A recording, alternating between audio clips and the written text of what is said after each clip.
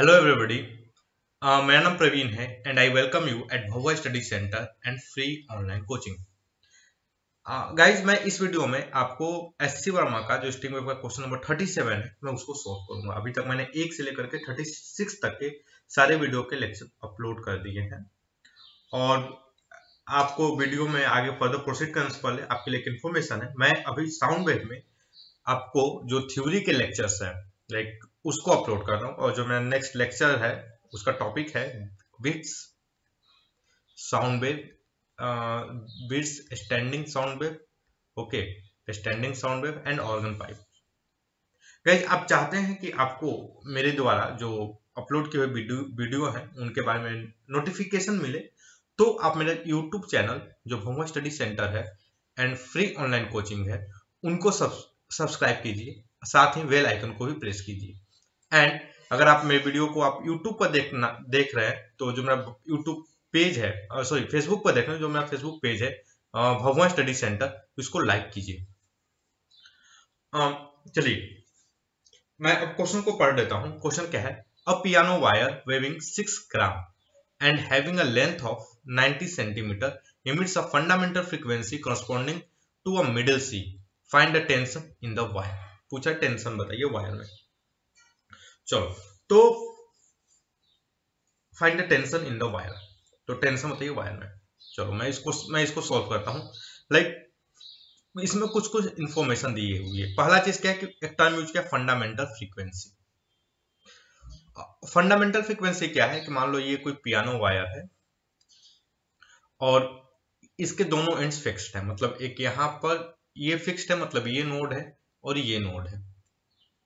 और इन दोनों के अलावा इस पूरे स्ट्रिंग में कोई नोट्स नहीं है। ओके, समझ रहे हो? मतलब जो दोनों एंड जो दोनों नोट्स हैं, वो एंड पे हैं। जो दोनों नोट्स हैं, वो क्या है? एंड्स पे हैं।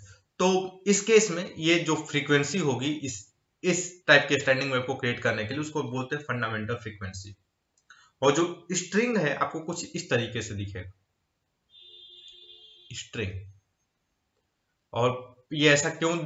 ओके स्ट्रिंग जो है आपको इस तरीके से दिखेगा वाइब्रेट करता हुआ, इस लूप में, एक सिंगल लूप में वाइब्रेट करता हुआ दिखेगा। ओके जब स्टैंडिंग में क्रिएट होगी तो। तो गाइज़ हम, हमारा जो मतलब लो कॉन्सेप्ट है स्टैंडिंग वेव का, वो क्या बोलता है कि जो दो नोट्स है, ये जो दो नोट्स हैं, ये और ये नोट्स इनके बीच का जो डिस्टेंस होता है वो लेमडा बाई टू होता है।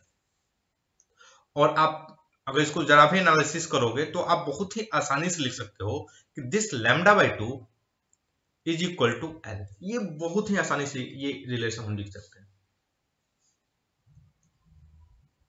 तो अब एल एल की वैल्यू हमें दी हुई है। एल की value we know that 90 centimetre this means lambda is equal to 180 centimetre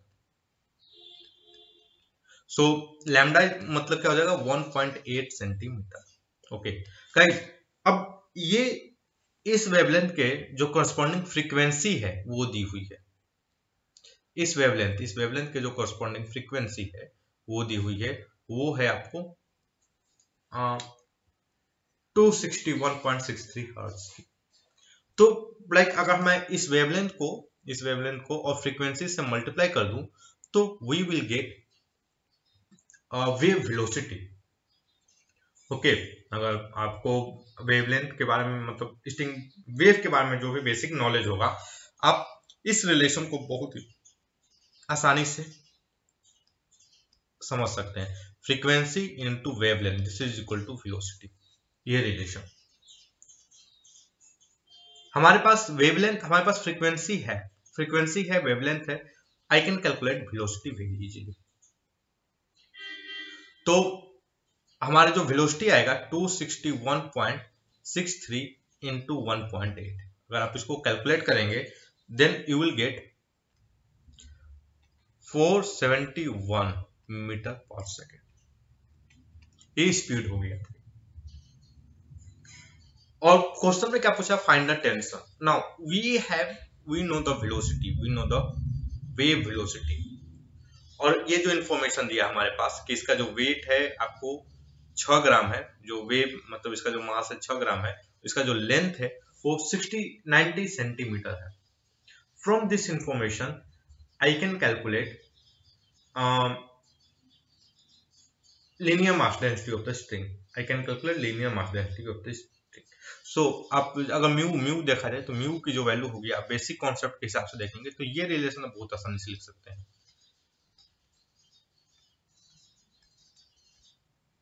ये केजी में आएगा divide by 90 into ten to the power minus two और this is in K G per metre so what I get six by 9 into 10 to the power minus 2 kg per meter. That means 2 by 3 10 to the power minus 2 kg per meter. तो इतना में, हमारा क्या हो गया? Linear mass density now tension तो tension क्या होगा? लाइक अगर ये रिलेशन में लिखूं इस रिलेशन के हिसाब से तो ये जो बहुत आसानी से लिखा सकता है I will get V square into mu is equal to T so V is 471 का square mu this is 2 by 3 into 10 to the power minus 2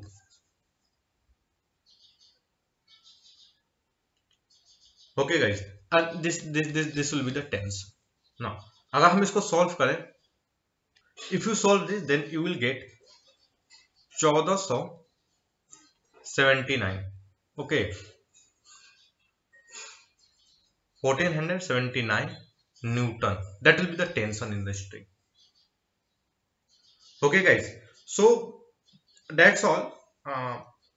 I uh, hope कि आपको इस वीडियो की मदद से जो बेसिक अंडरस्टैंडिंग है आपको स्टैंडिंग स्ट्रिंग वेव को लेकर के थोड़ी सी डेवलप हुई होगी आप जो फंडामेंटल नोट्स हैं जो फंडामेंटल फ्रीक्वेंसी है उसको समझे होंगे आप जो आपको ये पता चला होगा कि लाइक जो दो नोट्स हैं उनके बीच का जो डिस्टेंस होता है वो लेमडा बाई टू होगा तो ये बहुत इजीली इससे मतलब लाइक आप जो वेवलेंथ और फ्रीक्वेंसी के बीच का relation wavelength frequency and velocity का रिलेशन आपको बहुत आसानी से आप कैलकुलेट कर सकते होंगे ओके गाइज़ आई होप कि आपको ये वीडियो पसंद आया होगा and if you like my video then please hit the like button and share this video among your friend and family members.